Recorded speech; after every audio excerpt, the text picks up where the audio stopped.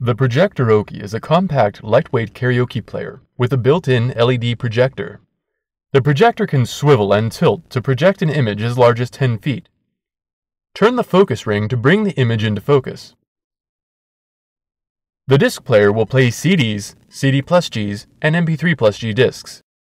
Or you can play songs from a USB flash drive, or from a device using the 1 8 auxiliary input jack, or connect your Bluetooth device. The speakers have LED lights that will dance along with the music.